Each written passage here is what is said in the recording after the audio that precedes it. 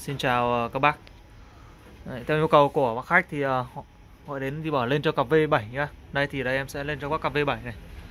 Đấy, Em V7 này thì uh, loa của nó là dòng chép dom các bác nhé Dòng chép dom này rất là to và bát của nó đây.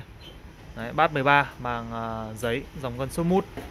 Đấy, Hình thức thì thiết kế còn rất là đẹp các bác nhé Tức là mặt đẹp ở đây là gì? Đẹp ở đây là so với mặt bằng mặt bằng chung của hàng bãi đấy còn ờ, bảng hàng mới thì là nó không không không không bì được.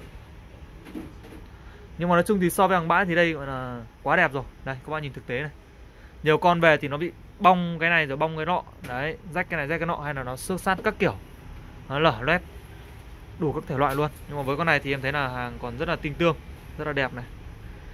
Đấy, loa được trang bị công suất là 70 này trở kháng là 5 ôm này. Đấy. màu sắc thì màu lâu nhìn rất là đẹp luôn này. Đấy.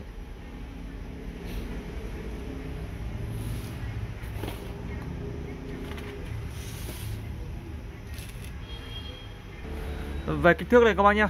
Đấy, bát của nó là đo theo đúng tiêu chuẩn của hãng nhá. Đo theo tiêu chuẩn của hãng là bát 13 này.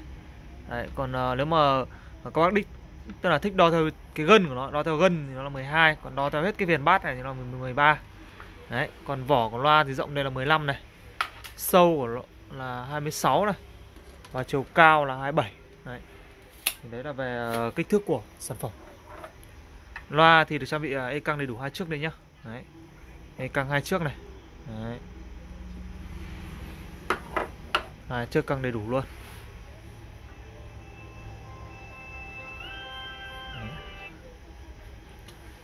Về giá thì uh, giá cặp này là 1 triệu 250 các bác nhé Giá là 1 triệu 250k à, Dòng loa V7 này thì nếu bác nào mà theo dõi kênh nhà em thì biết nhá. Đấy, loa này là có cả phân tần bên trong nhá.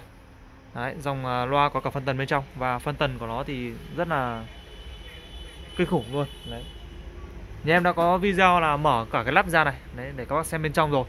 Đấy, mở cả bát ra để các bác xem bên trong rồi Xem à, nội thất cái thứ. Rất là xịn luôn. Riêng V7 này thì không phải bàn nhá.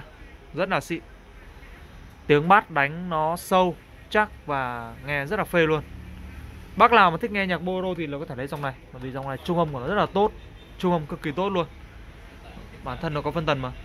Đấy thì uh, anh em bác nào mà đang có nhu cầu về dòng loa V7 Thì alo cho em qua số 0966 594581 Hoặc số 0979 891 682 nhé Vâng, xin chào các bác.